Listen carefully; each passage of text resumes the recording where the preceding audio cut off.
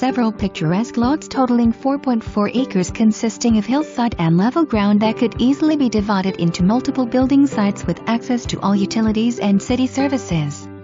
Property is accessible from multiple entrances including a helicopter pad that could also serve as a basketball court.